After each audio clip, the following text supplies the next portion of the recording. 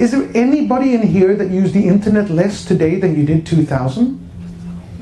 No one. There was no internet bubble or IT bubble. It was a financial bubble created by the greedy banksters. What is going on guys? Welcome back to my channel. And today I want to share with you parts of the event that we organized here in Stockholm, Sweden. This was our first event that we organized at Ivan on Tech and it was just amazing. We invited the Swedish crypto community and we're blown away by the response. So many people came, it was a great atmosphere. And so what you're gonna hear right now is a talk by Johan Staël von Holstein. And if if you're not Swedish, you might not know who that is, but he was really one of the pioneers, internet pioneers here in Sweden, and really built these huge companies back in the 90s.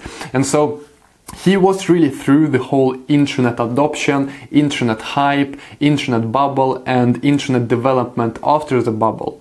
And um, in some ways the cryptocurrency and blockchain space is similar to the to how internet was when that was new. So his opinions are extremely extremely valuable. And um, i think the keynote was just great. And before he starts talking he starts talking about 10 minutes into this video i just explained the situation in sweden and i explain why it's important to organize the community in Sweden and I just kick off the event. So guys, I hope you enjoy. I hope you find this valuable. Even if you're not from Sweden, uh, you will find this uh, video extremely valuable because the opinions said in this video are uh, are current and are relevant everywhere. Also guys, if you haven't yet signed up for the academy, take a look at academy.ivanontech.com and sign up if you want to be part of our course where I will personally teach you all about blockchain technology, all about the fundamentals in blockchain technology. You, you can see the course contents on the website academy.ivanontech.com. And that being said, guys, let's get into it. Welcome, everyone. Welcome, ladies and gentlemen. So fun to see so many people here. Uh, we didn't really know how many people to expect, uh, but I think we're well over a hundred in here. And if there, there, are people in the back, there is some place here in the front if you want to sit on the floor. Uh, and so, yes, uh, this is the first event that we at uh, Ivan on Tech and Stockholm Blockchain organize uh, here in Stockholm. And this is something that we want to do uh, continuously. So this is not only one event. These events are going to be regular and they're going to be all over Sweden and all over the world. And uh, how many of you are here because you've seen us on YouTube? quite a few people. And I guess the rest of you found us uh, on Facebook. Uh, that is correct. Uh, all right, so I mean, personally, I'm extremely, extremely passionate about blockchain and cryptocurrencies. And I've been in this field since 2013. However, however, I'm mostly known on the internet as Ivan on Tech. And my YouTube really started in, in this way.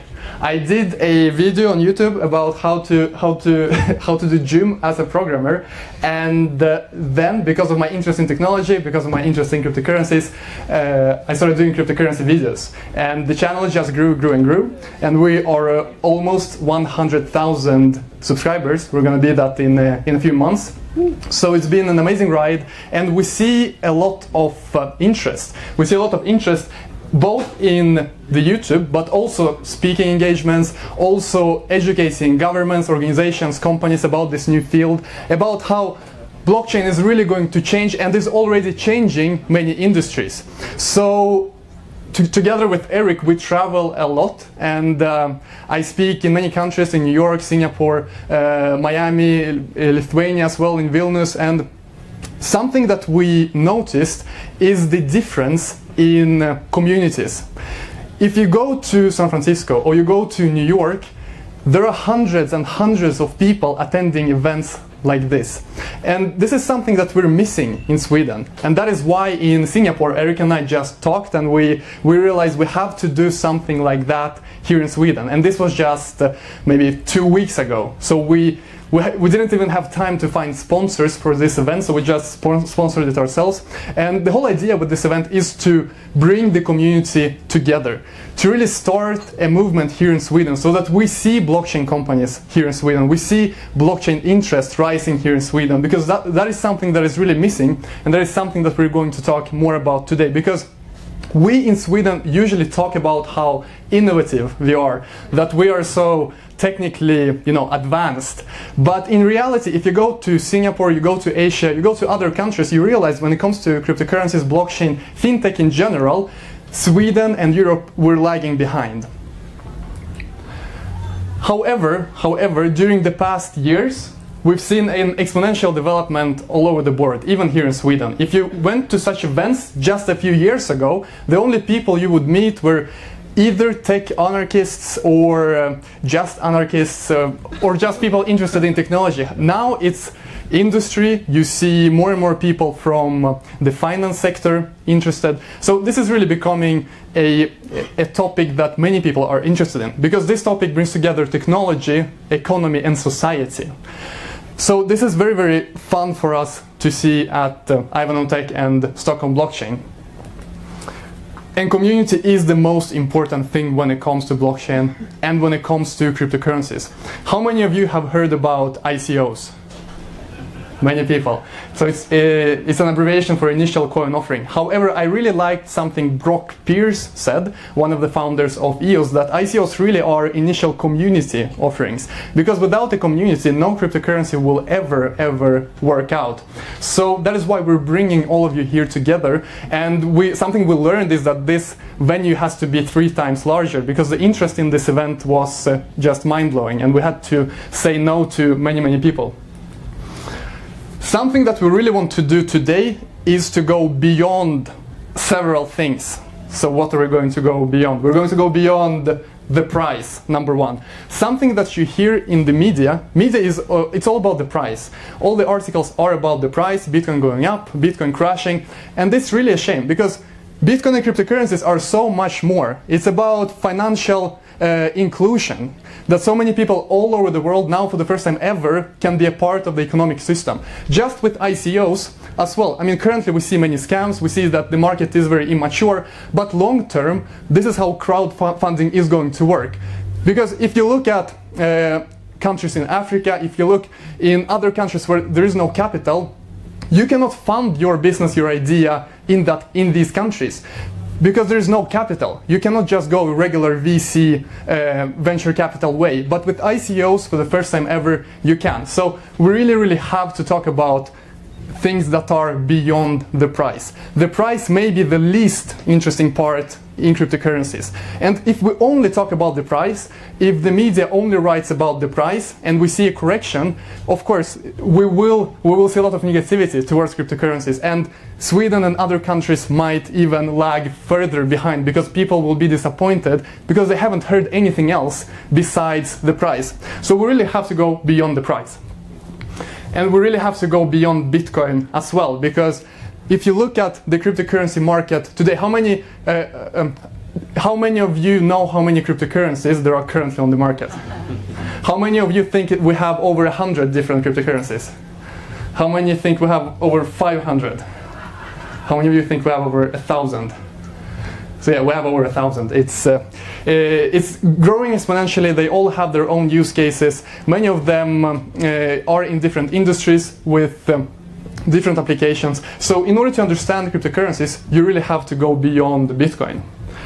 And of course, our focus here is on the Swedish community. We at Ivan on Tech, at Stockholm Blockchain, we're extremely passionate about Sweden and we want to make Sweden a huge place when it comes to blockchain, when it comes to blockchain startups, when it comes to blockchain companies. When someone thinks about cryptocurrencies, they currently think about Singapore, they currently think about Switzerland, and other crypto-friendly uh, nations. And in order to not miss out, in order to not lose talent, Sweden has to really, really uh, keep up, and both when it comes to regulations, both when it comes to interest and knowledge. And that being said, guys, Uh, we're going to have four speakers here today. First of all, we're going to have Johan Staël von Holstein talking about Sweden, talking about the token economy. Next up, we're going to have uh, Christopher from BTCX. How many of you have used BTCX in here? Yes. A few people. Very good. Very good. We're going to have Philip Martinsson from our team talking about blockchain in finance. And finally, we're going to have Ted Gunnarsson talking about ICOs. Do we have Ted in here? Because I haven't seen Ted today. We have Ted. Uh, very nice seeing you. All right. So, that being said, I want to welcome Johan Staël von Holstein up on the stage. A big round of applause. Thank you very much. Um, good to be here, and it's um, it's kind of fun for me to be here because you know over 22 years ago I was part of the team that actually started the World Wide Web, spreading it out over Sweden, and actually pushing Sweden to the front run of, of development. And even at that stage, when we did that, Sweden was not exactly in the forefront of development, but we very quickly went from nowhere to leading the industry, and we kept ourselves in the front row of that industry development for the last over 20 years. and I have great faith, faith in the fact that I think we will push Sweden to head this development as well. So one can say, well, what is the reason that we've fallen behind, considering the fact that we have been so developed in the rest of the areas within the internet space? Why have we missed out on this? And I think it's important to understand where this whole industry comes from. So the internet was actually founded already and started already in 1967. And it was so complicated to use that most of us didn't understand that it existed until 1994 when one added a new layer on top of it called the World Wide Web, which was a graphical interface making it really easy and understandable. And everybody knows what the World Wide Web has done to the internet and to the usage and the way we communicate and the way the society works today. But it has a lot of flaws. And now we're actually adding a third layer on top of it, it, which is the blockchain layer, which is the layer of trust, ownership, control, and privacy. It's bringing all the vital things to the internet that I have been lacking, and many with me, over the last 20 years. In 1998, when Google came out and said, Make no evil, I said, That's funny coming from the most evil company of mankind. And in 2004, when Facebook was founded, I said, finally, Google has found its own um, master of evilness. And since then, I have been like a lunatic, trying and expecting politicians to engage and helping us get privacy, ownership, and control over our digital assets and our digital identities. And finally, now it's coming through technology. So the blockchain is incredibly much more and much, much more important than a couple of currencies or um, what payment methods. It's actually something that might very well save the entire humanity because it's on its, it was on its way to go to hell. Um, and talking about these currencies, whether they are a bubble or not, does anybody in here know which was the first financial bubble in the history of mankind? What was it? Tulips. The tulips. So in the 1600s, they, they grew up tulips in Holland, and they paid huge amounts of money for a tulip uh, that was black, which eventually could be done in thousands and thousands of, of um, new, um, yeah, well, they could just replicate it a thousand and thousand times. Most people know about this story, but very few people think about the fact that 400 years later, 450 years later, Holland stands for 80% of the tulip production in the world. It is the third largest industry in Holland and if you counter the fact that the second largest industry in Holland is, is tourism, which basically is people coming in the springtime taking photos of the tulip industry, it means that a bubble means absolutely nothing in the long term.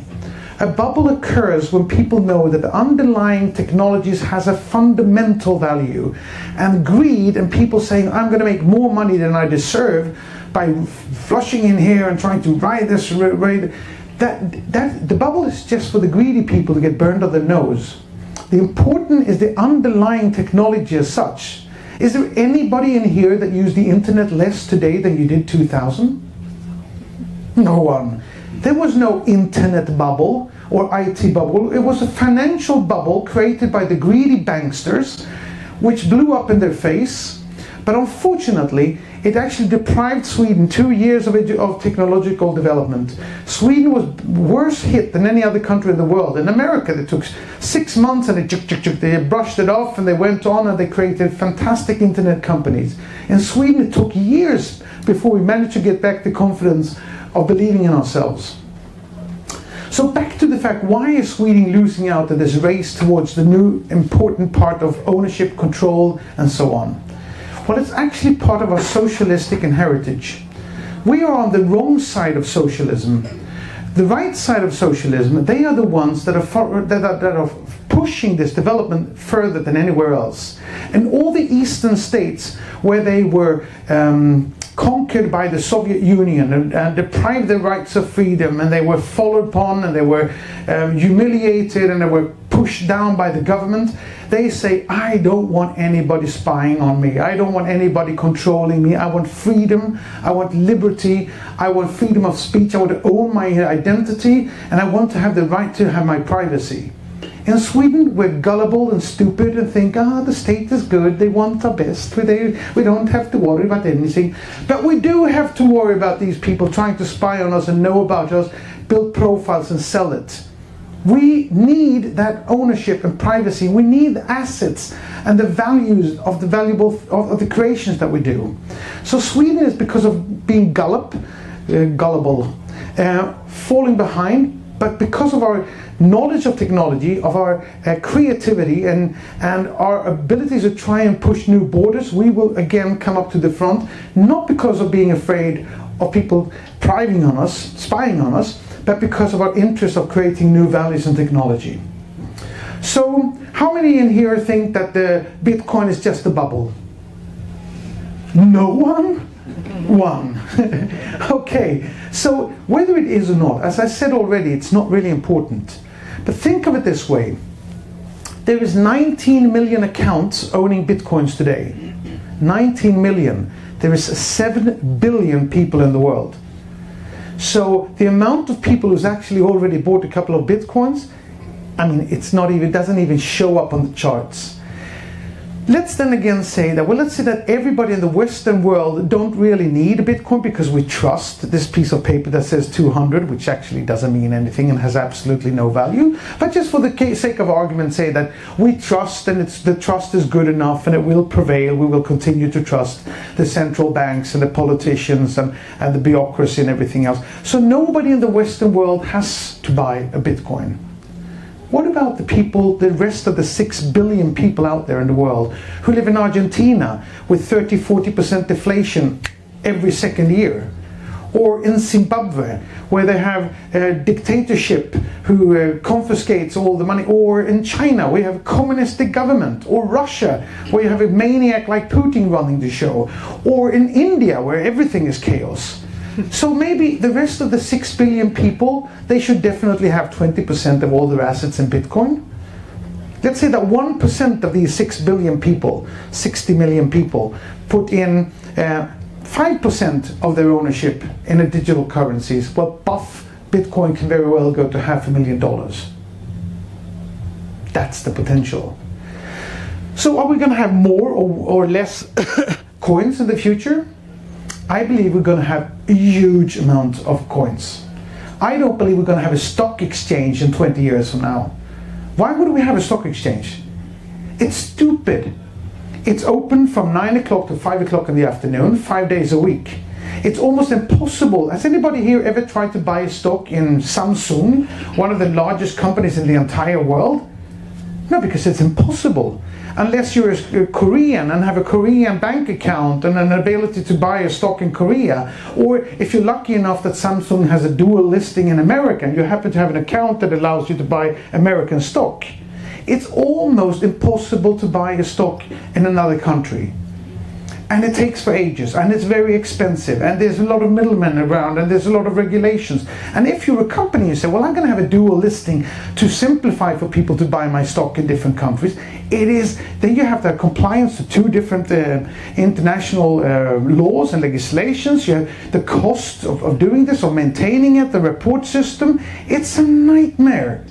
Give out a currency a coin and you have 24 7, 365 days on a global market with no middlemen. You just use your Visa card and you buy. So let's say you're a small country with five employees in a small city in the middle of nowhere in Sweden. What's that company worth? Well, maybe five, six PE ratio, and, and eh, only when you you know brag to your friends and neighbors because you can't really sell a, a company that size. So let's say we're a bit bigger than that. Maybe we have a PE ratio of 10. Let's say we have a company of about 50 employees in the advertising industry in, in central Stockholm. Well, the, the value of that company is PE 15. Why? Because you know, big international agent, um, agencies buy all advertising companies as soon as they reach that stage. Okay, so then next stage is we, we put a company public on the Stockholm Stock Exchange. Well, have an average of about 20 PE. But if you're trading on the uh, Hong Kong Stock Exchange, we have an uh, average of PE 40 45. So, what is the difference between the valuation of profits from a small country to a com company traded on the Hong Kong Stock Exchange? Does anybody know? There's only one thing that makes up the difference liquidity. Because if you can do an investment in a company where you easily can withdraw your money and get the money back, that is what you're willing to pay PE 45 for because there's so much trade on the Hong Kong Stock Exchange. I can sell any amount of money in any stock in an instant. Yet you make a telephone call to my broker. So if a company trading on the stock, Hong Kong Stock Exchange with about what 10 million people that can buy or sell the stock, how much should a company be worth with a liquid coin? PE 200, PE 600, yeah, maybe 600 because it's 24 7 globally without any middleman, without any hassle. The potential of coin valuations is staggering because all you're paying for is the liquidity, not the real value in the company. Okay, so let's go back to the stupid and sick stock market.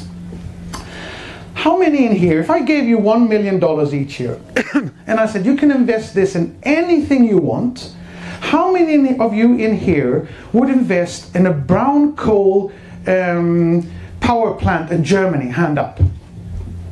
No one. Only one. There's, there's one who would. He would take his $1 million and he would put it in a brown coal. Everybody else would not. But, but he's probably a banker. That's why. Are you a banker? Yes, he's a banker. Oh, yes. The rest of us would never do that, but a banker would. Because a banker only his only motivation is greed. he sits as a monopolistic, self-named king in London working for a shit bank, deciding exactly who should have money and not.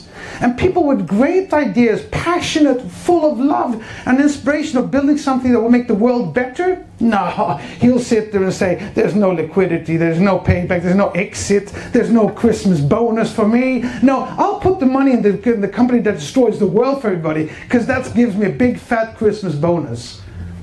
That's so beautiful that you was a banker. thank you for that, sir. Um, so, but for the rest of us, we might like this designer and believe that he or she can design something that will be good in three years. We don't care about the next quarter or the quarter after that. We want, we love the passion of this entrepreneur who really, really believes in his or her idea. And we want to promote that. So in the new world, when we kill the stock exchanges, when we kill the old way of, of valuing companies with their, their stock, instead we sell coins to our customers and we say, fuck shareholder uh, value and hello customer value. So if Acne Jeans have coins to give out to all the buyers, um, they do a tremendous year. They give out a check of $1,000 to all the coin holders to say, Thank you, customers, for giving us a fantastic year. And to show our gratitude, we now give you a token that you can use to buy your products next year. Not only do you give customer value back to your customers, but you also make sure that you're going to have good sales next year. So goodbye shareholder value because this guy is going to blank the shit anyway without knowing what I'm actually producing. So I have to fire my staff who I love, who are my friends, because all he thinks about is his greedy Christmas bonus. So I fundamentally hope that the stock exchange are dead in 20 years.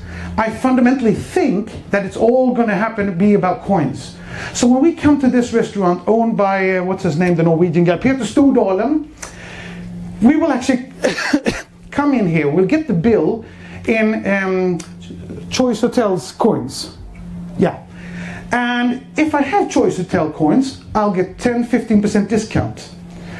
I happen not to have that coin in my uh, electronic wallet because I of course get the bill in my, my I don't have my phone here. So I get it into my phone and um, I don't have the coins, so it pops up. I have 700 other coins that in real time says what exchange rate you have compared to the Choice Hotels coins. And it says right now NK and SAS has the best uh, exchange to it. So I want to keep my SAS coins, so I'm just going to buy with NK. But then Clas Ohlson comes in and says, bing! Clas Ohlson and Choice Hotel has a cooperation joined this month. And because you're such a trusted and valuable customer, you now have 20% discounts with your Clas Ohlson coins customer value, loyalty value, employer value, liquidity, a beautiful world. Thank you all.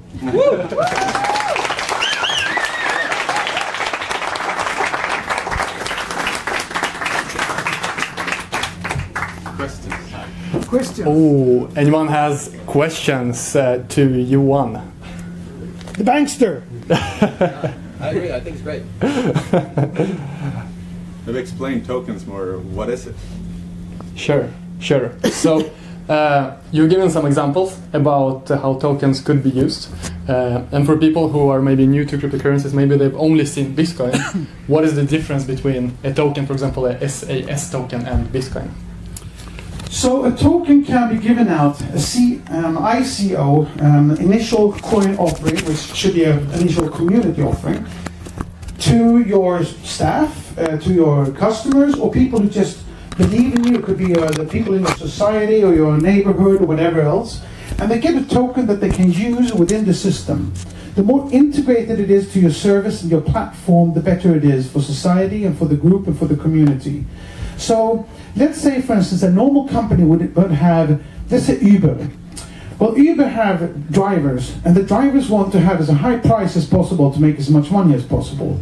Um, on the other hand, you have the, key, the people who go and travel with Uber. Well, we want the, as low price as possible in order for us to travel as cheaply as possible.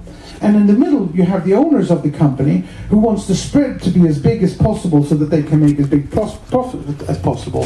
So basically, you have three entities within the community of Uber who all are trying to have three different ways of looking upon how the future should, should look and how the industry should how value should be distributed within the system.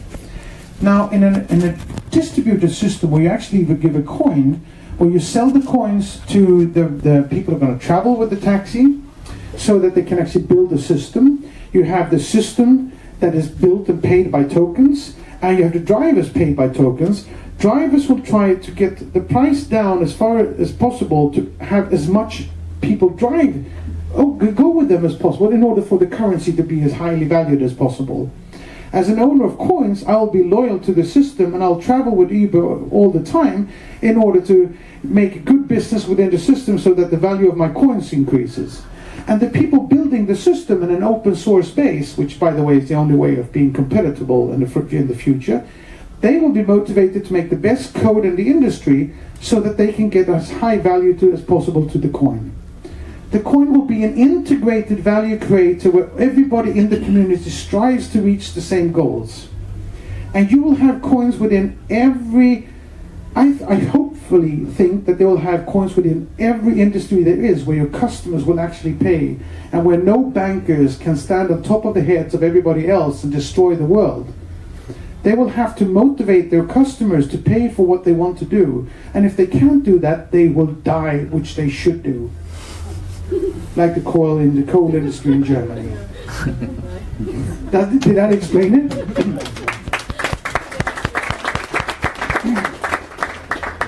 So something interesting that I would like to add myself is that uh, what you explained is basically that currently we have uh, uh, shareholders, we have the company, we have the customers, and they have sl- slightly different interests, and sometimes maybe there is a conflict of interest. Uh, however, with the token economy, when we have companies issuing tokens and customers holding tokens, they all become one. So the company uh, is an investor. They are because uh, token holders are the company, they're an investor, and also the customer in one. Exactly. Better said. All right. So thank you very much, Johan. Uh, next.